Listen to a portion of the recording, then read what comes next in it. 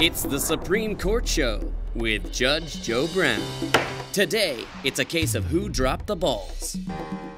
Plaintiff Bill Simmons believed Tom Brady's four game suspension never should have happened, and the NFL tainted the legacy of the greatest quarterback of all time.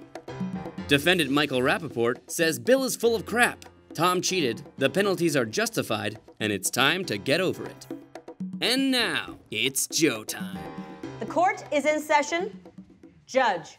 Mr. Rapaport, what's your position in support of the NFL and the commissioner? On January 18, 2015, during the AFC Championship game, D'Qwell Jackson, great name by the way, intercepted a ball thrown by Tom Brady. He handed it over to the officials, and the officials then checked all 12 of the Patriots' balls. All 12 balls were deflated. So why are they getting different results? Uh, two referees, two results on the same balls. Judge, I ain't no scientist. Your Honor, the science they used was so primitive and so inexact that the two gauges they used were actually different gauges, so they gave different results. But they don't factor in the ideal gas law, Your Honor. They just assume the Patriots deflated it. They don't assume that it's cold and the balls deflate. So, okay. What benefit would Mr. Brady get off of either an underinflated ball or an overinflated It's, ball? it's a great question, Your Honor. And there was a game about a year earlier when the balls were just too overinflated, and he actually yelled at two of the ball boys. He was like, "These balls are like rocks. I can't throw them." Boom. I think from that point, he, they were they were like, He probably- can't throw them. It's hard to throw a rock. Wait, wait, hold on, hold on, hold on, hold on. I want to talk about these uh, text messages. They're salacious, Your Honor. Can you see that they get the Madam Bailiff to make sure we're on the same page? How you doing, sweetheart? I Nice think we you. all have those. What about these? McNally and Yastrzemski, a former Red Sox player. I'm no expert. Carl Yastrzemski may or may not be related to this gentleman. Not true, Your Honor. Okay, just checking. But these people are all Boston people. Boston is filled with many, many legions of Tom Brady fans who also happen to be angry white people without lips. Again, I have no idea if this has anything to do with this case. I'm just letting you know that that's who we're dealing with here. This is evidence that these two guys were conspiring and working within cahoots with Tom Brady to make the balls to his liking. Yastrzemski said, talk to him last night. Tom, he actually brought you up and said you must have a lot of stress trying to get them done. It doesn't mean Tom Brady deflated anything or told them. He just didn't want the balls to be overinflated. That to me, this doesn't prove anything. This gentleman calls himself the deflator. All Tom Brady has ever done his entire career has been classy. He's represented himself the best way. All he Mr. does. Simmons keeps referring to Tom Brady as classy. Well, I don't see anything to say that he's not. What kind of a grown man shows up to a press conference wearing a fucking pom pom hat, Your Honor? Is that classy? Where in here, Mr. Rapaport, do you get the implication that the quarterback was in on this? At one point, Tom Brady met with McNally and Yastrzemski in person on a dock somewhere in South Boston. There's nothing in here about it. Objection, now. It looked like a scene out of The Sopranos, Your Honor. That's all I'm saying. You That- it's Your an Honor. overall Objection, Your Honor. conspiracy. Does I've that heard that. imply Yeah. that in this? It has to do with OJ, I don't know what he's the talking Bronco, Al Cowlings, the blood on the floor?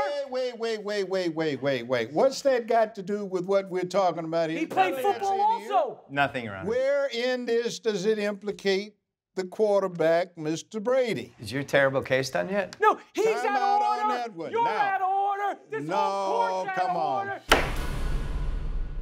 It was leaked to ESPN that 11 of the 12 balls were significantly deflated. I should mention that Mr. Rapaport goes on ESPN quite a bit. Quite a bit. Oh, boom. He's been on.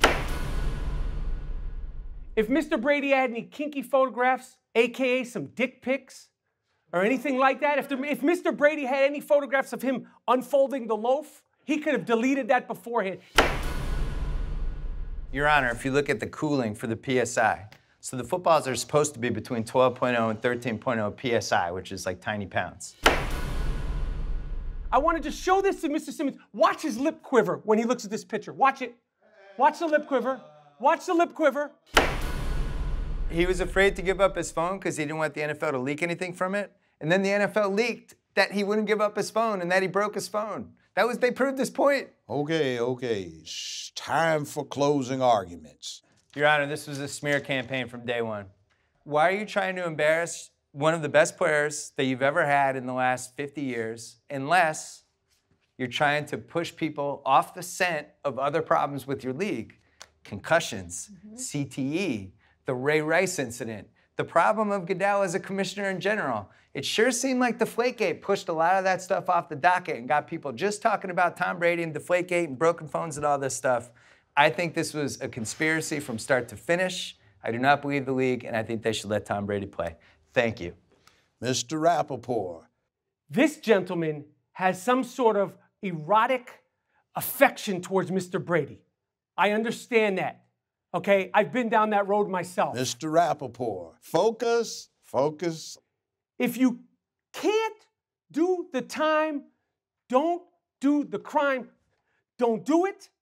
He did the crime. He's wasted our time. If you don't care, why are you fucking with the air? I rest my case. I mean, do you even need to hear more? If you destroyed a phone, you didn't act alone. I'm not impressed. Uh, Mr. Simmons, I think you've proven your case on behalf of the players and quarterback Brady and the team. So he's going to get the ruling. This is a goddamn conspiracy. The victor is going to get the benefit of an Thank you. Apology uh, that is to be read into the record by the losing party. This is what I'd like you to read. Bullshit, man. Read it. I'd like to forgive the New England Patriots organization, as well as Tom Brady, who should be universally known as the greatest quarterback ever. My opinion was clouded due to the fact that New York has become inferior to Boston, except for when New York beat the shit That's not out part of of the the statement, Patriots Your Honor. in the Super That's Bowl not part of and the ripped their hearts Can you out. ask- can you ask them- And can you because ask them- Boston is Mr. now Rapaport, yes, Can you read sorry. like- you lost. because Boston is now the city of champions. We as New Yorkers have become hmm. second class citizens. Also, New York pizza really isn't that good. What the hell does that have to do with anything? That ain't true, not Your done, Honor. Your Honor. This is It's not bullshit, Your Honor. Derek Jeter was vastly overrated, and we all have small penises.